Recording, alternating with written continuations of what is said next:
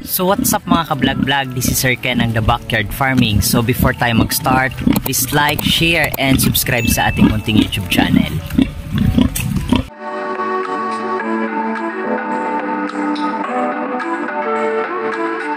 So nandito ako mga ka-vlog-vlog sa upper part ng aming farm kung saan nandito ngayon yung aming inahing native na baboy. So ito yung pinakamatanda na native na nandito sa aming farm. So more than 3 years na ito dito sa amin and more than 5 uh, times na itong uh, nanganganak. So marami na din yung biik na naianak nito. So commonly yung mga biik nito is nag-range ng 10 to 12 na biik kada panganganak. So maganda yung uh, performance ng aming native na inahin.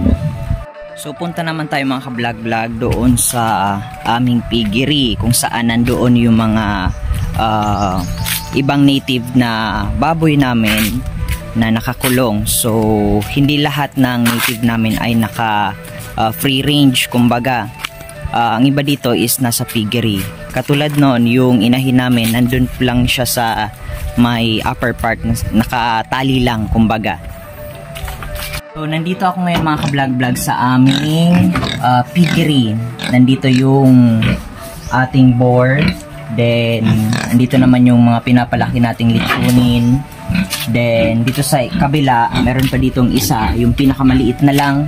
Uh, ayan, yung pinakamaliit namin na uh, biik. So, eto, ang habol namin dito sa pinakamaliit na biik, pang handa na lang yan sa piyesta. Itong mga lutsuni namin na iba, uh, binibenta namin yan, kumbaga, pero hindi siya fattening. Ang strategy namin dito para kumita sa pagpipigiri ng native ay uh, mga 2 to 3 months na pag-aalaga uh, yun lang then ang feeds niya is ano lang uh, rice uh, ano to yung parang galing sa sa amin kasi ang tawag is bidaw. Sa Tagalog, ang tawag doon is darak. So, yun yung pinapakain natin sa ating mga alagang native na nakakulong. Pero yung iba, hinahayaan lang natin sila na nasa labas. Kagaya nung isa naming uh, inahin, nakatali lang siya sa labas. So, yun yung purpose ng pag-aalaga namin. Una is para sa panghanda kapag may okasyon kasi mag- masarap kasi yung lasa, mas malinamnam yung lasa ng native compared doon sa mga inaalagaan talaga sa malalakihang uh, fattening or piggery. So dito ang purpose ng native namin is para sa Litsunin, binebenta naman siya pero litsunin lang. So, ang range niya is 20 to 30 kilograms. Pwede na siyang ibenta as litsunin. Then, per head yung pagbili dito sa amin. So, usually yung presyo ng per head nito is around uh, 3,500 yung pinakamura then 4,500 yung pinakamahal na litsunin live weight yan uh, I mean live kumbaga So, ito naman mga ka-vlog-vlog yung ating inahin na may mga bagong biik. Um, almost one week pa lang to. Mga bago pa lang tong biik na to. And healthy yan. So, ang gagawin natin dyan is uh, gagawin din natin yung litsunin yung mga biik na yan. Then, ibibenta natin per head. So, sana uh, hindi na yan mabawasan kasi mahirap ngayon yung panahon, medyo maulan tapos biglang iinit. Sana wag naman ma-stress yung ating mga alagang native. Pero ang kagandahan naman sa native, bihira naman yung mga native na nai-stress kasi ano naman sila sa weather eh kumbaga adjustable naman kumbaga madali silang maka-adapt sa weather minsan lang talaga kapag sobrang init kailangan namin silang bigyan ng electrolytes para at least hindi sila ma-stress. Ganyan yung pag-aalaga namin sa native na baboy.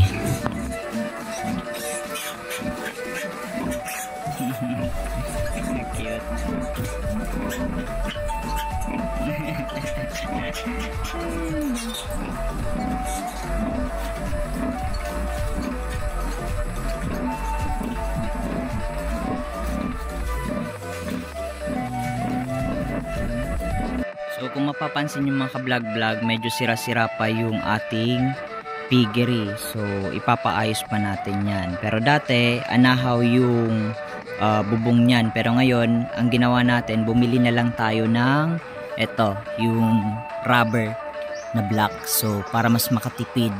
And compared kasi sa sim or yung galvanized sheet, medyo mahal siya. Ito nga yung mga matatagal na yan. Kumbaga, ang purpose na lang nito para at least may masilungan ng maayos yung mga native nating baboy.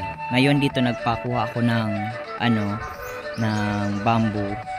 Then, ginawa ng bamboo slat kasi gagamitin yan para doon sa ating uh, farm. Then, magtatanim kasi doon yung aking uh, father ng iba't ibang klaseng tanim. So, ang gagawin dyan is for fencing din. Then yung iba niyan gagamitin sa pagpapaayos dito ng ating piggery. So yun lamang po mga ka-vlog-vlog. Sana at least uh, naipakita ko sa inyo yung konting background and konting kaalaman regarding sa pag aalaga ng native. Kumbaga, simple lang naman sila alagaan, hindi naman sila nakaka-stress alagaan, and hindi sila masyadong intensive alagaan. Kumbaga, uh, kailangan mo lang silang uh, paliguan, uh, bigyan ng pagkain, tapos hindi magastos kumbaga. So, mas nakakatipid, mas maganda para at least mas maganda din yung kita natin mga ka-vlog-vlog. So, again, maraming maraming salamat sa lahat ng supporters ng The Backyard Farming. Hanggang sa muli mga ka-vlog-vlog.